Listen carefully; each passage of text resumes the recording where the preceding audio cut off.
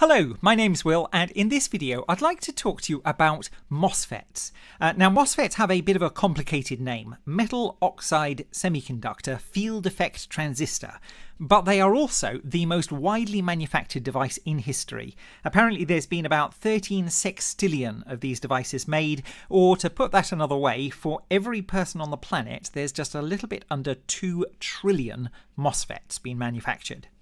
Now, I'd like to give you a little bit of intuition about how they work and how they relate to digital logic. So, for the moment, I'd like you to imagine that electrons were tiny square plastic toy tiles with a negative charge. And I would like you to imagine that you've got 16 of them and that you have a tray that is just the right size to hold 16 tiles. Now, if we've got 16 tiles in this 16 tile size tray and they are tightly packed in there, then the tiles can't move. If the electrons can't move, charge can't move, then current can't flow, and so that is going to have high resistance. But I'd now like you to imagine that you have a 17th tile sitting loose on the top. That loose 17th tile, it can move. And so now we've got charges that can move, current can flow, and so that can conduct. Okay, let's now imagine that we haven't got one extra tile, we've got one fewer tile. And so there's a hole there. And I've suggested that the backing plate here has a positive charge. But you can see that plus there showing the hole where there's a missing tile. Now that there's a missing tile, well, the tiles can move. And if you look at it just right, those tiles moving, well, they look a little bit like that hole is moving to the left. If the tiles are moving to the right, the hole is moving to the left. Okay, now what I'm going to do is I'm going to take my tray of tiles and I'm just going to flip it on its side. I'm going to look at it edge on. And let's say that there's only, you know, a tray of four of them in this case. We'll assume it's one layer deep. And so this is the situation where we have one loose tile sitting on top and I am going to call that extra loose tile sitting on top an electron in the conductance band. I'm just going to name that band the conductance band. And so if I have an electron in the conductance band, then it can move and it can conduct electricity. And so this is what we call an N-type semiconductor. And it's called an N-type semiconductor because the charge carriers are these electrons, and electrons have a negative charge. So that's an N-type semiconductor. All right, now let's go to the case where we've got one fewer tile.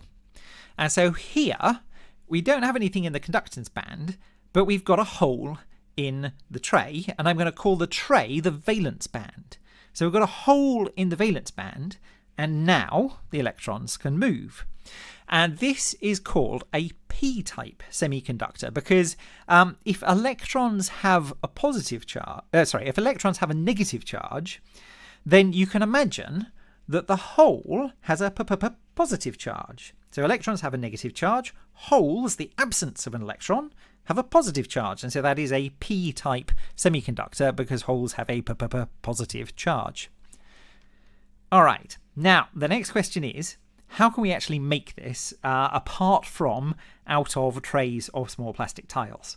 And this is where we're going to do a little bit of semiconductor physics. Well, I say semiconductor physics, we're going to keep it all very, very simple, hopefully. Um, let's start off with a hideous drawing. This hideous drawing is my terrible, dreadful, horrible drawing of a silicon atom. In the middle, we've got a green nucleus, and if you count them up, there's 14 pluses in there, representing the 14 positively charged protons in a silicon uh, nucleus.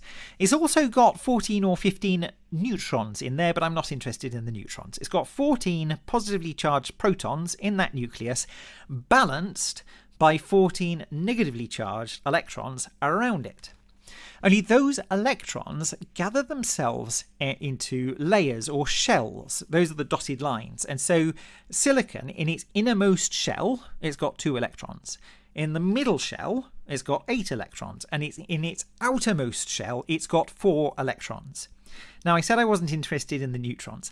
I'm also not really interested in the pro protons, and I'm not even interested in most of the electrons. I'm only really interested in that outermost shell and its four electrons. So let's get rid of the rest. So now my slightly simplified silicon atom has a nucleus and it's got four electrons in its outermost shell, and so I'm going to call that valence 4. Let's shrink it down to a more reasonable size and let's put the atomic symbol Si in the middle to show that this is a silicon atom. Now, one of the things about atoms, middle sized atoms, is although silicon is valence 4, four electrons in its outermost shell, it would really like to have eight. Most middle sized atoms would like to have eight electrons in their outermost shell. And so the way that silicon does this is it gets together uh, with some friends to form a lattice. And so now, if we look at this lattice of silicon atoms, around any of the nucleuses, there's eight electrons. Four of them belong to this atom, and the other four come from its neighbours. So far, so good. Now, let me introduce phosphorus. Phosphorus is valence 5. That means it's got 5 electrons in its outermost shell. So what I'm going to do is I'm going to take my lattice of silicon atoms that were valence 4 and neatly arrange themselves so they've all got 8 electrons surrounding them and are nice and happy. And I'm going to dope that lattice. Uh, doping is adding impurities to that lattice and so I'm going to replace a couple of the silicon atoms with phosphorus atoms and their extra, extra electrons.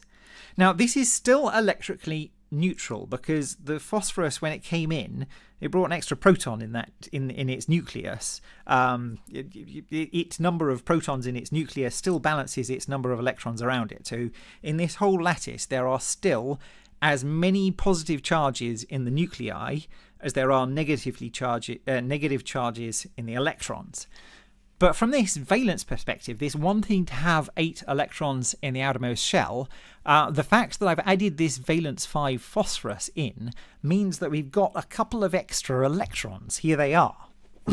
now these are my electrons in my conductance band. These are the ones that can move and mean that this can now conduct electricity. All right, let me now introduce to you boron. Boron is valence 3.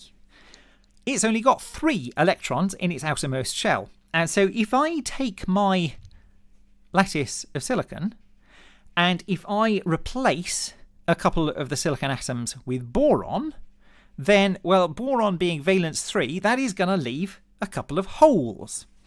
And so these are my holes in my valence band that can move around and can conduct electricity. All right, that's probably enough on nuclei and um, and valences of atoms. Let's abstract a little bit away from it and just say that we can have p-type semiconductor, and this is semiconductor that's been doped. It's got impurities added to it so that it has extra holes. And so in a p-type semiconductor, the charge carriers, we think of them as being these positively charged holes. And we can have an n-type semiconductor, which has been doped so there's extra free electrons in the conductance uh, band. And so in an n-type semiconductor, the charge carriers are negatively charged electrons. All right, that was our semiconductor physics. Now what I'm going to do is I am going to introduce the MOSFET. Here is my picture of a MOSFET. Now, a MOSFET is a device that has four terminals. It's got a source, it's got a gate, it's got a drain, and it's got a body. Uh, as we look at this picture, the source and the drain, uh, well, those are made of doped semiconductor. Uh, in this case, this is an N-channel MOSFET, and it uh, N-type semiconductor at the source and the drain. And so in this N-type uh, MOSFET, N-channel MOSFET, the charge carriers are going to be negatively charged electrons. And the source terminal is called the source because that is where the negative charged, uh, the charge carriers, the negatively charged electrons, are going to flow into uh, the MOSFET. That is the source of the charge carrier, the source of the electrons.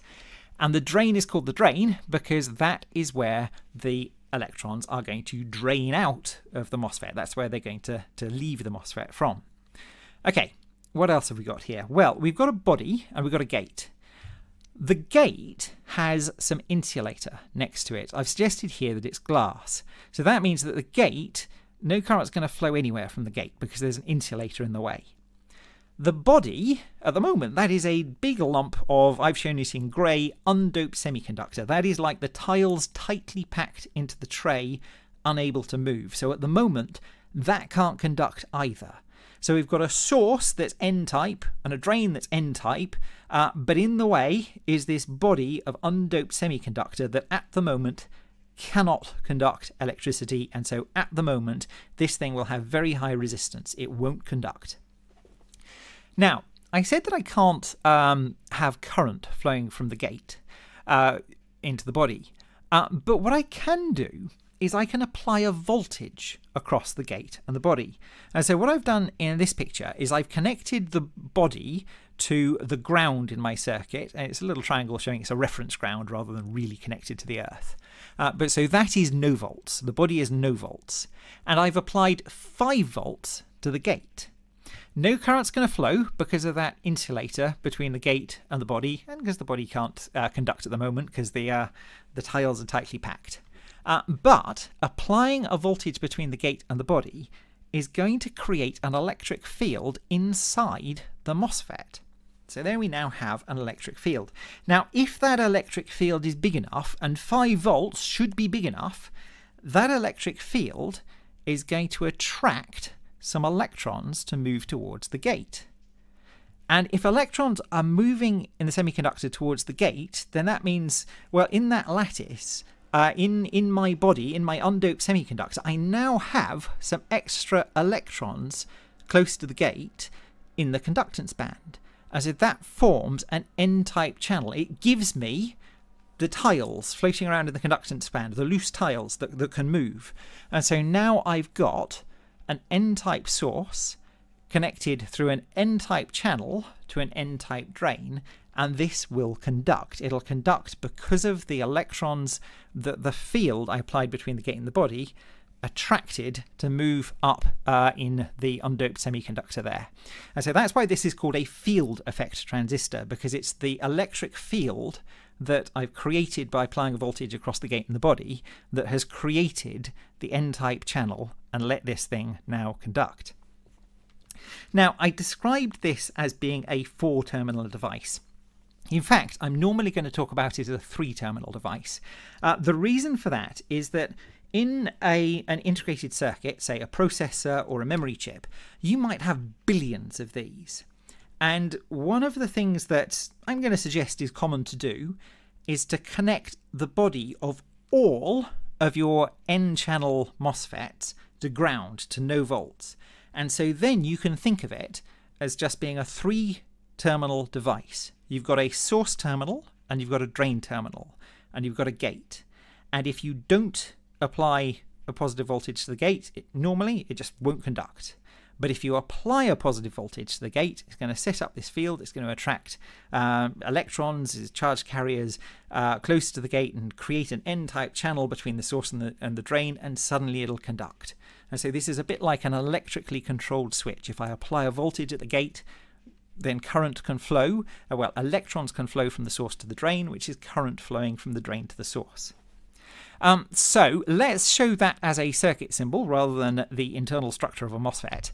And so uh, this is the symbol here, and I put GDNS to label the gate, the drain, and the source. You'll notice the source is at the bottom. That is because for an N-type enhancement mode MOSFET, um, the charge carriers are electrons negatively charged, so coming from low voltage and draining out at high voltage. And so this is the symbol for an N-type enhancement mode MOSFET with no body connection. Uh, enhancement mode means that normally that uh, N-type conducting channel isn't there and applying the field has created it. You can get depletion mode MOSFETs where the channel normally is there and the field removes it. Uh, but let's just stick with the enhancement mode ones um, that are relatively easy to explain at the moment. Uh, so in my N-type enhancement mode MOSFET, we've got the body is already connected low. The body is already connected to no volts because the body of all of my N-type MOSFETs is connected low. And if I apply a positive voltage at the gate above a certain threshold voltage, then this thing's going to switch on, going to suddenly be able to conduct, and electrons can flow from the source to the drain, current can flow. Um, this is a circuit that you might uh, have, which is NMOS logic. This is an NMOS inverter. So what we've got is VDD, that is the positive uh, voltage in my circuit. It's called VDD because that's the voltage that we connect to the drain of an N-type MOSFET, uh, but it's the high voltage in the circuit anyway. Uh, that is connected through a resistor to the drain of my uh, N-type MOSFET, and then the N-type MOSFET, uh, its source is connected to ground. And so now, if the gate voltage is low, then that MOSFET is switched off. No current's going to flow down to ground. There's no connection down to ground. And so that resistor is going to pull the output voltage high. So that's a pull-up resistor. But if I turn the MOSFET on by applying a gate voltage that's above its threshold voltage, uh, then that MOSFET is going to turn on, current will flow, and it's going to pull V out to ground. So if I put a low gate voltage in, I'll get a high voltage out. If I put a high gate voltage in, I'll get a low uh, voltage out. So this circuit here is an inverter. High in, low out, low in, high out. All right, so that was N uh, type MOSFETs and NMOS logic. Well, a little bit of it. Let's now have a look at P-type MOSFETs. And so these look very similar. We've still got a source, we've got a gate, we've got a drain, and we've got a body. Only this time the source and the drain have doped semiconductor that is p-type semiconductor. So in this case, the source is going to be the source of positively charged holes. And so it's going to be the positive end. And the drain is going to be where those positive charges uh, leave the MOSFET. And so, uh, so in this case, the drain is going to be the negative end. Now, in this case, I'm going to apply my body and gate voltage the other way around. I'm going to connect my body to the high voltage rail. And I'm going to connect the body of all of my P-type MOSFETs to the high voltage rail. And I'm going to connect my gate, in this case, I'm going to connect that to no volts, connect that down to ground.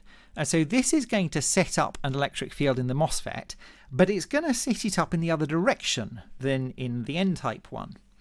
And so this is going to push electrons away from the gate, leaving holes behind. And if I've left holes behind, then I've got holes in my valence layer, and those are positively charged, uh, you know, holes in the valence layer. We then said current could flow, and that is positive charge carriers. So I've now got a p-type source connected over a p-type channel to a p-type drain, and this can conduct. Uh, so in the case of a p-type MOSFET, we connect the body high, and then the the thing will turn on if we connect the gate low. Uh, so let's show the circuit symbol for this one. And so in this case, it looks very, very similar, except the source is at the top because the charge carrier for a P-type uh, MOSFET is positively charged holes. So if the charge carrier is positive, uh, then the source uh, is the higher voltage and the drain is at the bottom. And you'll notice that on the gate, uh, I have this circle there, and that circle can act to you as a reminder to say this thing turns on if you connect the gate low. So the body is already connected high to VDD, they still call it VDD. Uh, if the voltage at the gate is reduced, the potential is brought down below the body voltage so that uh, VDD minus the gate potential is bigger than the threshold. So we're bringing the, the gate potential down uh, enough to set up that field between the body and the gate uh, then that's going to turn it on and holes can flow from the source to the drain. So now we've got a device sitting here that we can think of as an electrical uh, electrically operated switch, uh, where in this case, if the gate voltage is high, it's going to be off, and if we bring the gate potential low, uh, then it's going to turn on and current can flow from the source to the drain. So let's put that one in a circuit and have a PMOS logic circuit. And so this is a PMOS inverter. I have VDD, which is my high voltage rail, and I've got that connected through a P uh, channel MOSFET. And then I've got a resistor that is a pull down resistor uh, connecting my output terminal down to ground. And so now if the gate voltage is high, if the gate potential is high, there's not going to be a field between it and the body because the body potential is also high. And so it's going to be off. And so if that gate voltage is high, the thing is off and the resistor will pull the output voltage down to ground. If, on the other hand, I bring VG low, then that's going to set up that field. It's going to turn the MOSFET on, and that is going to be like having a wire connecting my output terminal up to VDD, and that is going to pull uh, V out high. So if VG is low, VDD minus VG is above threshold, then current's going to flow and V out is going to be pulled high. Okay, that was NMOS and, C, uh, and PMOS. Let me introduce you to CMOS. CMOS is where we use both of them complementary MOS. And so what we're going to do is we're going to design a circuit of um, P-type and N-type MOSFETs uh, so that whatever condition we're in is always connected either high or low, but never both. So in this case, I've got a P-type MOSFET connecting my output terminal up to the high voltage to VDD, and I've got an N-type MOSFET connecting uh, it down to ground. Uh, and I've put the P and the N on there for, for this slide. Wouldn't normally show the P and the N, but that's just to remind you which symbol uh, is which one. So now, if Vin is high, then the P-type MOSFET, well, if Vn is high, P-type MOSFET switch off, so that's not going to conduct. Uh, but the N-type MOSFET, if Vn is high, that's going to switch on. And so that's going to be like having an open circuit, nothing between VDD and Vout, but a wire between Vout and ground, and that's going to pull Vout down low, down to no volts, down to ground.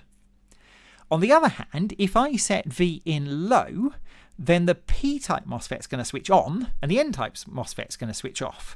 And so if the P-type MOSFET is the only one conducting, that's like having a wire connecting my output terminal to the positive voltage rail. And so that is going to pull V out high. And so that is a CMOS inverter, complementary MOS. We've got uh, combinations of P-type and N-type MOSFETs connecting at either high or low, never both, and mm, in this case, never neither either. Uh, so if that was an inverter, what other ones can we do? Well, let's try this one. So in this case, I've got more than one signal coming in, and I've labelled my signals A and B, and I just labelled them A and B and said I'm connecting A here and I'm connecting it there, uh, just to try and declutter the diagram for you. And I've got some N-type MOSFET and I've got some P-type MOSFET. And if we look at this one, well, V out, there's two N-type MOSFETs connecting it up to VDD, one for A and one for B. So if either A or B is high, one of those MOSFETs is going to switch on and it's going to connect V out high. So if A or B is high, V out is going to be pulled high. What about the other cases? Well, if we look down the bottom, we've got two P-type MOSFETs connecting V out down to the ground terminal. And so, well, if A goes low, then A is going to switch on. But if B is high, B is off, and so that's still not going to make a connection. But if A and B both go low, then both of those P-type MOSFETs are going to switch on, and that's going to pull V out low. And so this is an OR gate. If A or B is high, V out is going to be pulled high, and only if A and B are both low is V out going to be pulled low. And so that is a CMOS OR gate and how MOSFETs are used in digital logic. So to give a quick summary, uh, we can think about a MOSFET as a voltage controlled switch and we have two kinds that we're interested in. We've got N-channel MOSFETs and those ones are going to conduct when we take the gate potential high and we've got P-type MOSFETs and those ones are kind of going to conduct if we take the gate potential low, below the body potential. Um, uh, the body potential in this case being for the N-type MOSFET is connected low and for the P-type MOSFET is connected high. So complementary MOS is using both NMOS and PMOS to make logic circuits. So for the NMOS ones, if we put uh, if we put the gate potential high, it switches on and conducts. And for the PMOS, if we put the gate potential low, it switches on and conducts.